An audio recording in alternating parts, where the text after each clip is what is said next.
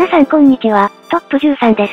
先日、幕張イベントホールにて、少女歌劇レユースターライト、バンドライブ、スターリーセッションが開催されました。皆さんは、現地、または配信でご覧になりましたでしょうか？私は11月4日の Day1 を現地で観覧してきました。私事ではありますが、スターライト99組の現地は、シャープ2リバイバル以来、およそ4年ぶりだったんです。なので、その感動と興奮といったらもう、ひとしおでした。この動画では、そんな Day1 の感想をただただ語っていこうと思います。なお、この動画にはライブのネタバレが含まれておりますので、まだご覧になられていない方はご注意ください。それでは、行きましょう。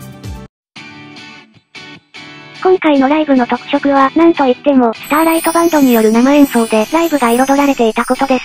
開幕ギターソロからの星のダイアローグ、痺れましたね私、もともとはロックバンドとかが好きなので、今回のライブは本当に楽しみだったんですが、最初からもう上がってしまいました。そしてよろしくく組で会場を温めてからの、レッスンなウィークと、純情アンクラシファイド。この2曲は絶対バンドライブで入るだろうなと思っていましたが、予想通りでした。特に、純情アンクラシファイドの盛り上がりは心が高まりましたね体を揺さぶる楽器体からの音の波と、情熱を帯びた4人の歌声はライブ序盤のクライマックスと言っても過言ではないでしょう。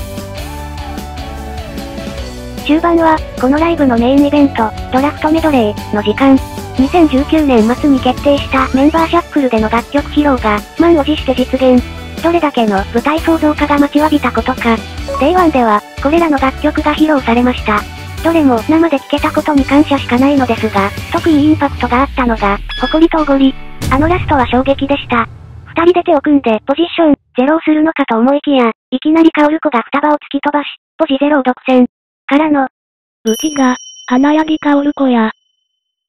はい優勝。このライブの MVP です。ドラフト会議では一切のくじ運に恵まれなかった伊藤彩沙さんですが、ライブ本番で雪辱を晴らすかのようにしっかり爪痕を残しました。あの時の会場の高まり具合は一生忘れません。間違いなく、Day1 のハイライトと言って良いでしょう。その後に待ち受けていたのはマヤ、黒のファンシー。オレンジと白のライトの中、優雅に現れる二人に観客席から黄色い悲鳴が。まあ、尊いから仕方ないですね。あと、細かいところのこだわりを感じられた点が一つ。ドラフトメドレー中は、ステージ上部のモニターに楽曲名と歌うメンバーが表示されていたんですが、このファンシーユーの時、まや黒の名前が右側に、寄り添うように配置されていたんですよ。バランスを考えたら左右に一つずつ落ちそうなところですが、粋ですねそして順直しとしては無視できなかったのが、リクリエイト。照明によって水色に淡く染まったスモークの中であの歌詞を読唱する佐藤さん。良い。ただただ良い。すごく良い。言い表し方がこんな感じで申し訳ありませんが、高まってしまって、本来は光の心情が綴られたナンバーですが、純なにも寄り添うような歌詞にも思えてきて、胸が熱くなりました。恋は太陽を挟んで、この日のドラフトメドレーのラストはゼウスの仲裁。会場一体となって、レッツポンズ、できたの、めちゃくちゃ嬉しかったです。これです。これぞライブの醍醐味ってもんですよ。そして、テルリンに突っ込まれるという。最高です。楽しげな雰囲気の中、ベストアルバムと同じ締めのセリフで惜しまれつつも、ドラフトメドレーは幕を閉じました。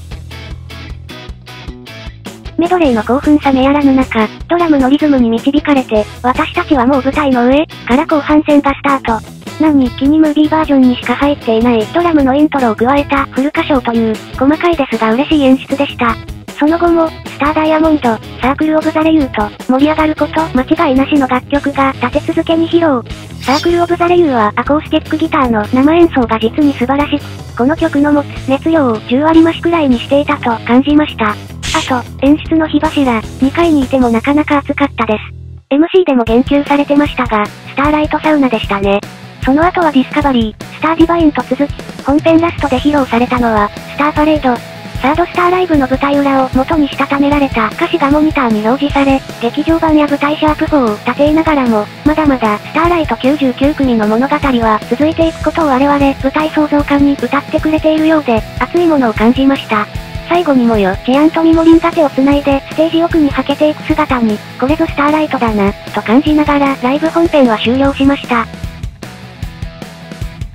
客席の温かい手拍子と、運び込まれるお立ち台の轟音に胸が膨らんだところで、く、組メンバーが会場後方から登場。アリーナを練り歩きながら、願いは光になってを披露。およそ4年の月日を経たからこそ、この光景が見られたと思うと感動もひとしおでした。きっと福組メンバーも、ずっとこの時を待っていたことでしょう。アンコールでは、願いは光になってに加えて、オールスター、そして舞台少女心得を歌唱。オールスターではラストの、君が大好きだ、で、思わず胸元で合唱してしまいました。だって、生の福組にそんなこと言われたら、ねえ、舞台少女心得では、ラスサビで宙を舞った銀テープの輝きが星の瞬きのようで、一瞬見入ってしまいました。すべての楽曲と MC が終わった後、この日に素晴らしいライブを届けてくれたバンド隊の皆さんと福組のみんなに精一杯のありがとうを叫んで、ライブは幕を閉じました。というわけで、以上、バンドライブ現地参戦感想まとめでした。感情が高まりすぎてまとまっていない、拙い文章だったかと思いますが、会場の興奮、伝わりましたでしょうか？まだ決まってすらいませんが、もう早く次の福組のライブが見たい。今は、そんな気分です。スターライト、福組に出会えて本当に良かった。その思いを再認識できたライブでした。皆さんの感想もぜひ、コメント欄までお寄せください。それでは今回はこの辺で、ご視聴、ありがとうございました。